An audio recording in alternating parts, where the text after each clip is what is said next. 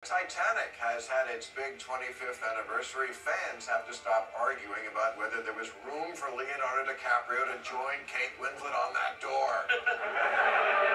Please, Leo didn't swim away from Kate because there wasn't room on the door. He swam away because she turned 23.